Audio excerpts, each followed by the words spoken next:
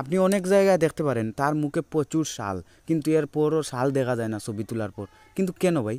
ভাই, কি সেটিং করলে মুখটা একটু সুন্দর আনা যাবে? এই প্রশ্নটা কিন্তু সবার কাছে আসে যে ভাই, আমরা কি করলে বা কি সেটিংস করলে যে মুখটা একটু সফট দিবে? যে ফটোটা আমরা তুলবো বিকটিমের চেহারাটা যাতে একটু আলাদা গ্লো দেয়। তো গাইস আজকের ভিডিওতে এটাই আমি আলোচনা করব। কীভাবে মুখ বা চেয়ারা সফট করে ছবি তুলতে পারেন। ক্যামেরা সিরিজের আরেকটি ভিডিওতে আপনাদেরকে স্বাগতম। আর অবশ্যই ভিডিওটি দেখার অনুরোধ রইল, কারণ আজকে আপনাদেরকে এই ভিডিওতে আমি শেয়ার করব। কীভাবে আপনারা ভিকটিমের চেহারাটা সফট করতে পারেন অথবা যেটা বলেন মানে সুন্দর করতে পারেন, খুব গ্লো দিবে, আপনার আলাদা একটা চেহারাতে একটা সৌন্দর্য ফুটে উঠবে। তো তার জন্য কিন্তু সেটিংস জরুরি আর সেটিংস থেকে আরও কিছু গুরুত্বপূর্ণ বিষয় আছে। যদি ভিডিওটি দেখেন তাহলে আপনি বুঝতে পারবেন। তো গাইজ চলেন ভিডিওটি শুরু করি। ওকে, সর্বপ্রথম আসে ভাই আপনি মানে কোন জায়গায় ফটো তুলতেছেন? দেখেন, যদি আপনি আউটডোরে ফটো তুলেন তাহলে আলাদা সেটিংস আপনি যদি ভিতরে ইনডোরে ছবি তুলেন তাহলে কিন্তু আলাদা সেটিংস তো এক একটা সিস্টেমের জন্য এক একটা। কিন্তু সব থেকে বেশি কার্যকর হয় বা সফট করতে যেটা কাজে লাগে সেটা হচ্ছে লাইট লাইট যেখানে ভালো আসবে তখন কিন্তু আপনার সেই জায়গায় আপনার যে যে কোনো যেই কিছু বিষয়ে আপনি ছবি তুলেন না কেন আলাদা একটা গ্লো দিবে। ওকে তো এবার আপনাদেরকে কিছু টিপস দিই। দেখেন, সর্বপ্রথম যে আপনি ম্যানুয়াল দিয়ে তুলেন পি মুড দিয়ে তুলেন অটো দিয়ে তুলেন ক্যালভিন তুলেন, এইটা তুলেন হেইটা তুলেন, এগুলা বিষয় না। সব থেকে বড় বিষয়টা হচ্ছে লাইট ওয়াই লাইট হচ্ছে সব থেকে বড় বিষয় আপনার চেহারা বা আপনার সফট করার জন্য। দেখেন, আপনি যদি এখানে আরেকটা বিষয় আছে, দেখেন, আপনি যখন ফোকাসটা দেন, আপনি যখন ভিউ ফাইন্ডার দিয়ে তুলেন, তখন দেখবেন যে বিকটিম আপনার সামনে দাঁড়িয়ে থাকবে। তাকে সবসময় চেষ্টা করবেন ফোকাসটা যাতে গিয়ে তার চেয়ারাতে পড়ে। চেহারাতে পড়লে কি হয়? আপনাদেরকে একটা বিষয় বুঝাই। দেখেন, আপনার একটা ডিএসএলআর ক্যামেরা। আপনি যে সাবজেক্টের উপরে ফোকাসটা দিবেন, সেই সাবজেক্টের কালার অনুযায়ী সারা ছবিতে একটা গ্লো মেরে দেয়। আপনার ছবিতে আপনি অবশ্যই তুলে দেখবেন। যদি আপনি একটু ডার্ক সাইডে আপনি ফোকাস দেন। দেখবেন সারা ছবি বা সম্পূর্ণ ছবি জুড়ে আপনার কিছু অন্ধকার অন্ধকার একটা ভাব চলে আসছে। আপনি যখন কালো মানুষের ছবি তুলেন, তাহলে দেখবেন আপনার ছবিটা আপনি আপনি সুন্দর করতেই পারবেন না। শুধু কালো হয়ে যাবে, কালো কালো হয়ে যাবে। কিন্তু আপনি দেখবেন যদি সুন্দর কোনো মানুষের ছবি তুলেন, তাহলে ছবিটা যেন আলাদা সুন্দর হয়ে যায়। আপনি অবাক হয়ে যান যে, ভাই, আমার এরকম ছবি কীরকম হয়? আসলে আমি এরকম ছবি কি তুলতে পারি? এরকম আমার সঙ্গে কিছু কিছু সময় হয়েছে যেমন ধরেন যে মানুষটা সুন্দর আছে, যার কিছু দাড়ি আছে, আপনার চেহারাটা কিছু পরিষ্কার আছে, যখন আমি তাকে ফোকাস দিই বা ফোকাস পয়েন্টটা গিয়ে তার চেহারাতে পড়ে, তখন আমি ফটো তুলি, দেখা গেছে এই ছবিটা খুব সুন্দর হয়। ভাই, আমি কল্পনা করি না, ভাই, আসলে এইরকম কালার দেখি আমার ক্যামেরা আসলে ফটো বা পি বা ম্যানুয়াল যেইটাই বলেন, যেইটাই দিয়ে তুলি সেম কালার দিতে থাকে।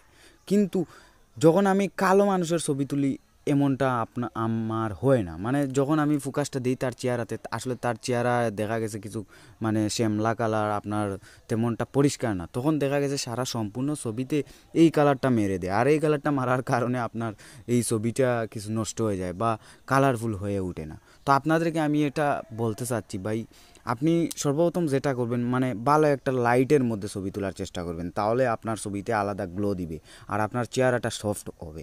আর আরেকটা বিষয় আছে, আরেকটা বিষয় হচ্ছে সেটা যে আপনি যদি ভিউ ফাইন্ডার দিয়ে ছবি তুলেন, তো আপনি যে সাবজেক্টকে আপনি ফোকাসটা দিবেন, সেই সাবজেক্টের চেয়ারার উপরে বা সুন্দর যে স্থান আছে, এই স্থানে গিয়ে যাতে ফোকাসটা পড়ে।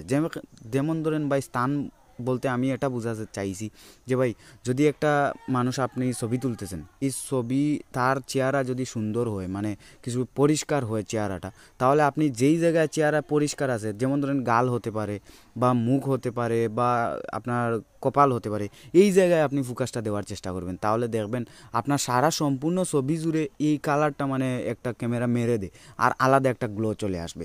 আপনি অনেক জায়গায় দেখতে পারেন, তার মুখে প্রচুর শাল, কিন্তু এরপরও শাল দেখা যায় না ছবি তোলার পর।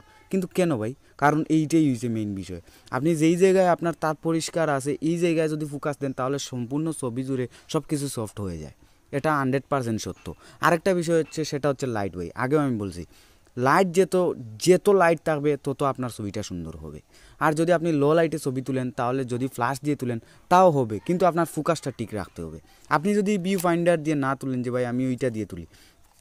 তাহলে এই যে ফোকাসটা আছে, এই ফোকাসটা আপনি তার চেয়ারাতে নেবেন। এই যে দেখেন, এই যে ফোকাসটা আছে, এই এই যে কুটাটা দেখতে পাচ্ছেন, চতুর্ভুজের মতো, এইটা তার চেয়ার হাতে নেবেন। দেখেন, চেয়ার হাতে নিলে, নিয়ে যদি আপনি একটা ছবি তুলেন, তাহলে বেস্ট একটা ছবি দিবে সফট করবে। আর যদি আপনি মনে করেন যে ভাই, এরকম আপনি করতে পারেন না, তাহলে কিন্তু আপনার ছবিটা সফট দিবে না। তো এইটাই হচ্ছে মূল বিষয়। আর আমি আপনাদেরকে সাজেস্ট করব, আপনারা ভিউ ফাইন্ডার দিয়ে তুলবেন অ্যান্ড যেই সাবজেক্টকে আপনি ছবি তুলবেন, এই সাবজেক্টের পরিষ্কার অঞ্চল যেটা, এই জায়গায় আপনি ফোকাস দেওয়ার চেষ্টা করবেন। তখন দেখবেন সারা ছবি জুড়ে আপনার এই সফট লাইটটা চলে আসে। আর আরেকটা বিষয়, আপনি যে লো লাইটে যদি ছবি তুলেন, তাহলে ফ্লাশ দিয়ে আপনার সেম কাজটি করবেন। আর যদি এরকম আউটডোরে আপনি ছবি তুলতে চান যে, ভাই আউটডোরে আমার তো লাইটের শেষ নেই।